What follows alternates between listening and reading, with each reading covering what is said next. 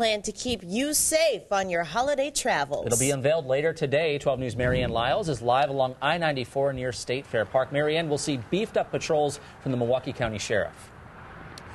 Patrick, the sheriff's department does this every year, but look at the highway right now. At 5:30 this morning, you'll see a fair amount of traffic. You can only imagine tomorrow just how many more people will be on the road here at I-94. And this is one of the sheriff's hot spots because of the amount of drunk driving crashes that take place here.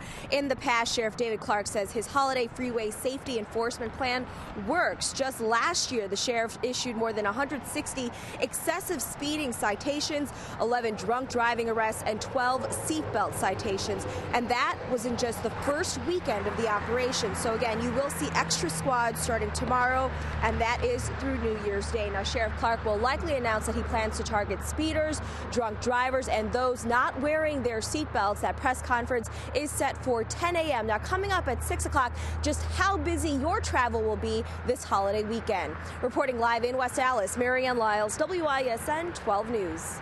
Later today, if you